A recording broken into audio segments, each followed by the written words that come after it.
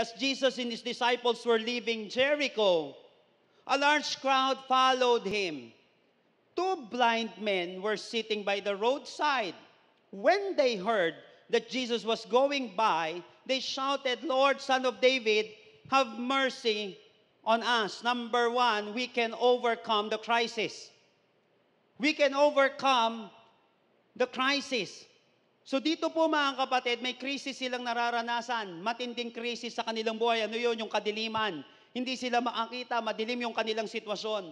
Napakalimitado ng kanilang kilos, matagal na panahon. Hindi sila makalaya dito. Pero mapapansin natin dito, when they heard that Jesus was going by. So paano natin ma-overcome yung mga krisis na nangyayari sa ating buhay? Paano mo ma-overcome yung matinding krisis na matagal mo nang pinagdadaanan sa buhay? Sabi natin, we can overcome the crisis, but how? Number one, find an opportunity. Find an opportunity. Sabi dito sa verse 30, two blind men, men were sitting by the roadside. Matagal na po sila mga kapatid, umuupo doon. Namamalimos sa lugar na kung saan pinupuntahan ng mga namamalimos. Pinupuntahan ng mga may kapansanan. But two blind men were sitting by the roadside. Sabi dito, so matagal na sila doon. But when they heard that Jesus was going by, they shouted. Nung mapakinggan nila na si Jesus Christ ay paparating, nagsisisigaw sila. Sabi po sa sa uh, the message version, when they heard it was Jesus passing, they, cry, they cried out, Master, have mercy on us. Mercy, Son of David, when they, when they heard it was Jesus passing. So ibig sabihin, may mga naririnig-rinig din sila eh, na mga kakilala nila na ibang tao, ng opisyalis, ng Imperyo Romano, na mga dumadaan. Pwedeng may mga dumadaan doon ng mga rabbis. Pwedeng may mga dumadaan doon ng mga priest. Pwedeng may dumadaan doon na ibang mga tao na kilala, mga prominenteng tao. But when they heard it was Jesus passing, they cried out, Master, have mercy on us. Mercy, Son of David. Find an opportunity kinakailangan marunong kang maghanap ng oportunidad. Kung gusto mo talaga kapatid na ma-overcome yung crisis sa iyong buhay, kahirapan man yan, kadiliman man yan, walang mangyayari kapatid kung hindi ka maghahanap. Walang mangyayari sa buhay natin kung uupo na lang tayo habang buhay doon. Matagal na silang nakaupo, but when they heard it was Jesus passing, Kapatid, huwag mong sasayangin yung mga oportunidad sa buhay, sa buhay mo. Always look for an opportunity in every adversity. Uulitin ko kapatid.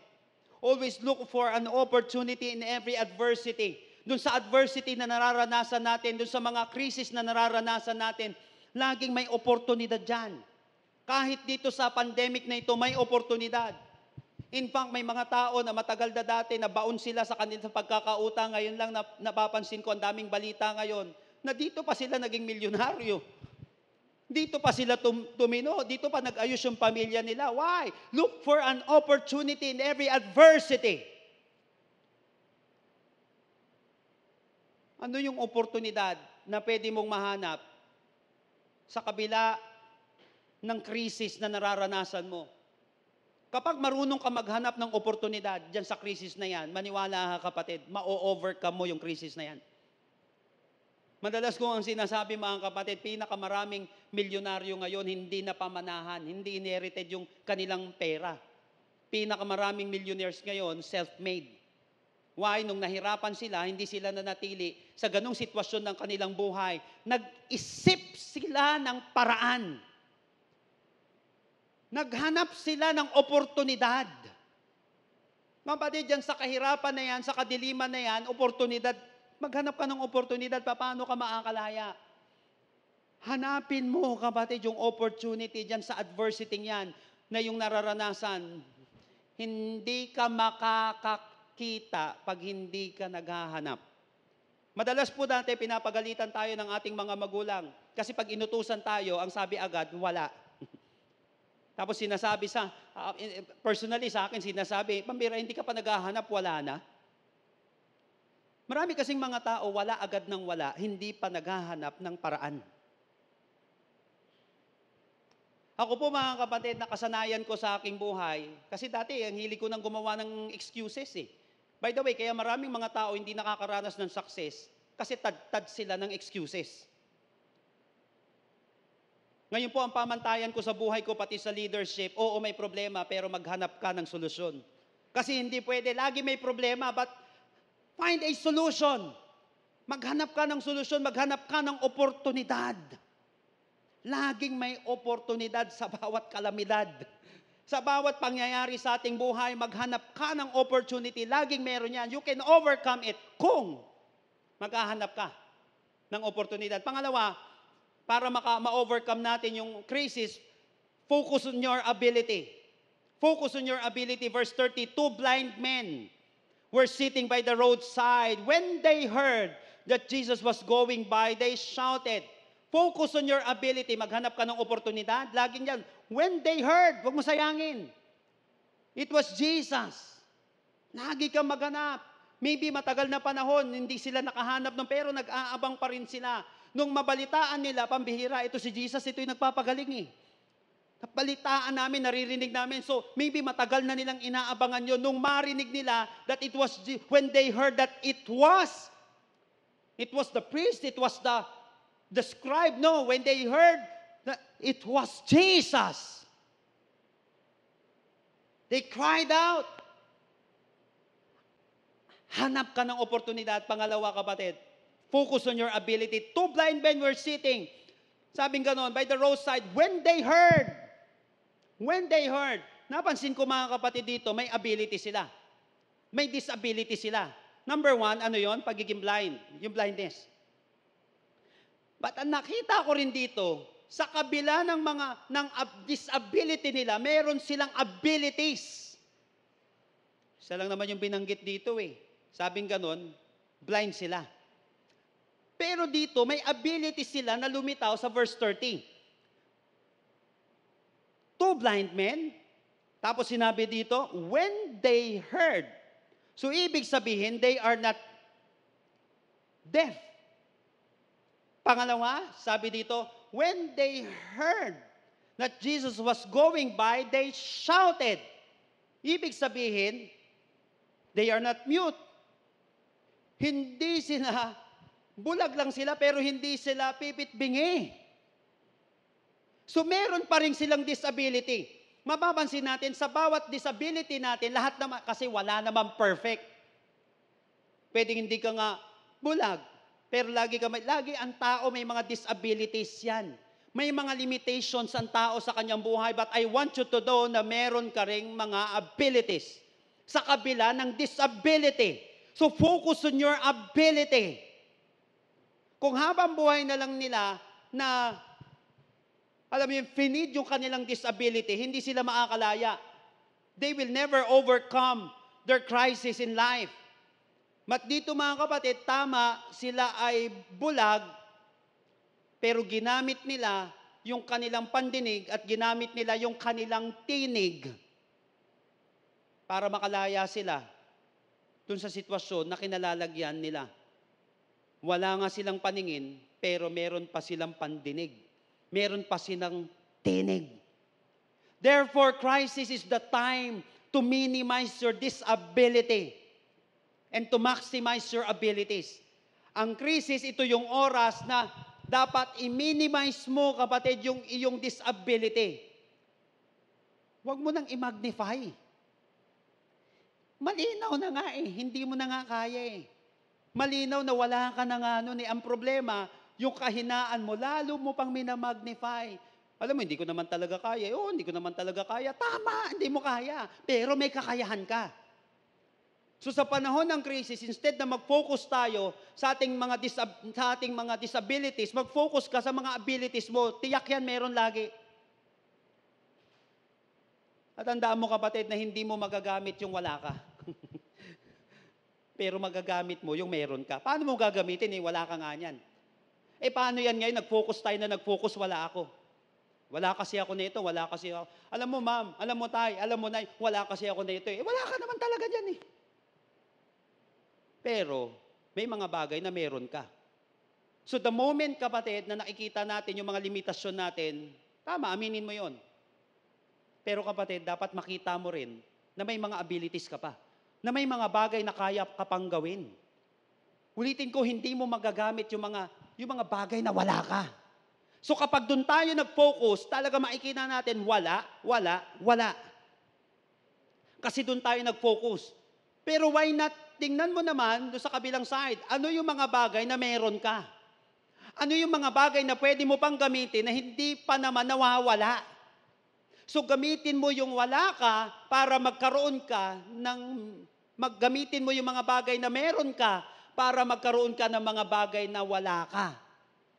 Ulitin ko, gamitin mo yung mga bagay na meron ka para magkaroon ka ng mga bagay na wala ka. Wala silang paningin, pero meron pa silang pandinig at sila pa sila ay may tinig pa rin. So gamitin mo yung mga bagay na kung saan nagpa-function pa sa iyong buhay. Ano yung mga bagay na functional? Kasi, oo, alam ko yung ano yung mga dysfunctional na sa buhay ko. Ano yung mga nag-dysfunctional na sa buhay mo. Hindi mo na magagamit yon Dysfunctional na yan eh. Pero gamitin mo, ano yung nagpa-function pa? Para nang sa gayon, magagamit ko pa ito eh. Baka sakaling magkaroon ka pa ng mga bagay na wala ka. Wala na silang paningin pero ginamit pa rin nila yung kanilang pandinig at kanilang tinig para makakita sila. For example, ah, wala kang pera, madalas yun yung sinasabi ng mga tao, eh wala kasi akong pera eh. O tama, wala kang pera, anong gagawin mo? Hindi, wala akong pera, yun na lang. Teka lang kapatid, ano yung mga bagay na meron ka? Meron kang koneksyon? May face value ka? May lakas ka pa ng loob? Kapatid, hanapin mo yung mga bagay na meron ka pa. Magaling kang magsulat, magaling kang kumanta, wala ka nga lang pera, edi gamitin mo yun. Alam mo, isa sa mga ma- in- napaka-importanting payo sa akin pagdating sa leadership, pagdating sa personal na buhay, alam mo, sinabi sa akin ng mga, ng mga prominenteng tao na nakausap ko, na matitino, sabi niya sa akin, alam mo, Julius, you don't have a money problem. You don't have an, you only have an idea problem. Alam mo, mga tao, wala naman talagang money problem. Yung idea lang ang wala sila. Hindi nila ginagamit. May mga ideas tayo, may mga bagay na pwede tayong gawin. Alam mo, sa bawat problema, laging may oportunidad dyan. So, tignan mo kapatid yung opportunity, wag mong sasayangin yon kasi balang araw, tignan nyo po itong maigi, baka balang araw, una, bulag lang sila. Baka balang araw, pati yung wala, meron pa sila, baka pati yan mawala na. Di natin alam, baka maapektuhan pa. Di ba may mga, may mga bulag na naaapektuhan na yung ibang parte ng kanilang buhay. Pwede naman dahil sa pagiging bulag nila, ma- madapa pa sila, o kaya naman mabingi pa sila, baka yung mga bagay na dapat magagamit pa nila ngayon, eh baka balang araw wala na. So wag mo, wag mong sasayangin. Hanggat functional pa yan. Hanggat may mga kaya ka pang gamitin, hanggat may mga kaya ka pang gawin. Huwag mong sasayangin yan. Tignan mo yung ability mo. I-maximize mo yung abilities na yon at i-minimize mo yung disability mo. Kasi tiyak yan kapatid, may mga abilities ka pa sa buhay. Now, the sad reality is this. Crisis could make you like a beggar. Ito yung nakakalungkot na realidad sa ating buhay. Kapag may krisis na nangyayari sa atin, magmumukha kang beggar dyan. Katulad nila. Actually, the name of this person, the name of this man, sa ibang translations mga kapatid, sa ibang mga, sa ibang account, halimbawa kay Mark, halimbawa kay ah, Luke, mapapansin natin na pinangalanan ito. Ang pangalan niya ay Bartimaeus kasi pinukusan yon. Pero dito sa passage na ito, dalawa ang pinakita dito. Nakuha po natin. Pero pag sinabi pinangalanan, yung Bartimaeus, ibig sabihin, kilala yung pamilya nito. Kasi pag pinapangalanan, ibig sabihin, prominente o kilala. Son of Timaeus, ang ibig sabihin nun. Yung Bartimaeus, so kilala siya. Kilala siya, pero kahit nakilala ka, kahit may magandang parte pa, kahit okay pa yung buhay nila, nung hindi na siya nakakakita, nung may krisis na, mambihira, naging beggar na siya. Why? Wala na siyang magawa eh. So sabi nga natin, kapag nag-focus ka lang no sa disability mo, pag nag-focus ka lang dyan sa crisis mo, it can make you like a beggar. Kasi nakikita natin yung ano yung mga, wala na kasi ako eh, ito na lang, dysfunctional na kasi ako. Ang gagawin natin, manghihingi na lang lagi na manghihingi. Mag-aabang na lang ng tulong ng iba na tila bagayo na lang ang ating magagawa. Remember that unresolved crisis could humiliate you. Pag hindi mo niresolba yung crisis na yan, papahiya ka niyan. Crisis can create limitations in your life. Crisis can make you dysfunctional. Ang crisis na yan, kaya tayong dis- gawing dysfunctional. Alam mo, nagkikreate yan ng limitasyon. Yun talaga nangyayari. Siyempre, may crisis, din limitado ka na ngayon. Kaya unresolved crisis could make you like a beggar. So kinakailangan, resolbahin mo yan. Magmumukha ka laging kawawa. Bababa yung paningin mo sa sarili mo. Alam mo, magkakaroon ka na baba, mababang pananaw sa buhay. Yung inferiority mo, tataas ng tataas habang tumatagal yan at hindi mo ginagawa ng paraan. Again, may magagawa ka pa. Pero kapag hindi mo niresolba yan, tumatagal ng tumatagal, baka bumababa ng bumababa yung tingin mo sa sarili mo. At susunod, wala ka na talagang magagawa. Yes, kapatid, crisis can make, has a lot of things to do in your life. Maraming magagawa yan. Ulitin ko, gagawin tayong dysfunctional, it can humiliate us, at makakapagbigay yan ng maraming limitations sa ating buhay. But let me remind you, kapatid, although that crisis is inevitable, although ang crisis sa buhay ng isang tao hindi maiiwasan, lahat ng tao dumadaan sa iba't ibang krisis ng kanilang buhay. Lahat tayo ay dumadaan, kapatid, sa iba't ibang krisis ng ating buhay, but don't forget this.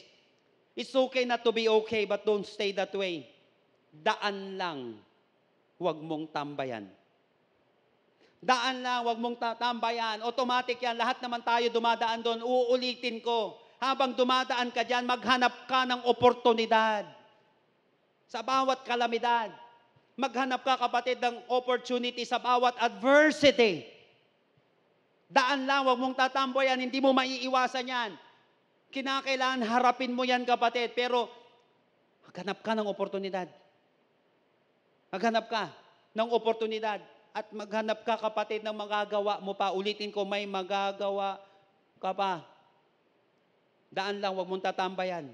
Nabaon ka sa utang, daan lang, wag mong tatambayan. Nalunod ka sa kasalanan, daan lang, wag mong tatambayan.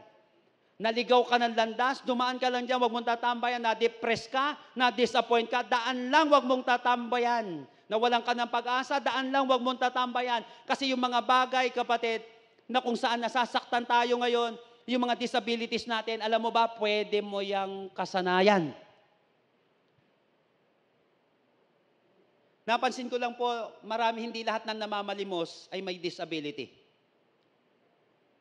Yung iba nakasanayan na po nila. Na dapat wala naman sila sa ganong kalagayan, ulitin ko po, laking kalsada ako. Laking kalsada ako. At alam ko po mga kapatid, meron doon, maayos naman yung buhay ng kanilang pamilya. Pero nando doon, nagnanakaw sa kalye. Nagnanakaw doon sa, sa iba't ibang mga main roads. Dito. Pero na kung saan, hindi naman dapat niya nararanasan yon. Pinag-aaral ng magulang, gusto nagnanakaw. Why? Madali eh. Nakasanayan na yung ganong klaseng buhay. Yung iba, hindi naman nagnanakaw. Pero pwede naman makalaya sa ganun sitwasyon. Kaya lang nakasanayan na. Kapatid, wag mong kasanayan. Yung mga bagay na kung saan pwede ka namang lumaya. Yung mga bagay na kung saan pwede mo namang mapagtagumpayan. Ulitin ko, wag mong kasanayan yung mga bagay na pwede mo namang mapagtagumpayan. So wag mong tatambayan, daan lang. We can, you can still do something. Pwede mo bang i-type dyan sa comment section, do something. Do something, may magagawa ka pa. Ulitin ko kapatid, may disability ka lang, kaya lang marami ka pang abilities. Marami ka pang abilities. Tandaan mo to kapatid, kapos ka lang, hindi ka pa ubos. Kapos ka lang, pero hindi ka pa ubos. Do something. Use what you have. Don't focus on what you don't have. Now, eto ngayon. Kapag gumawa ka ng paraan, ito naman, tumanim na sa atin to ngayon. Okay, I will do something.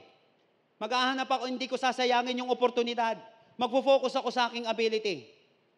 But don't forget, kapatid, may kakaharapin ka kapag hinarap mo na yan.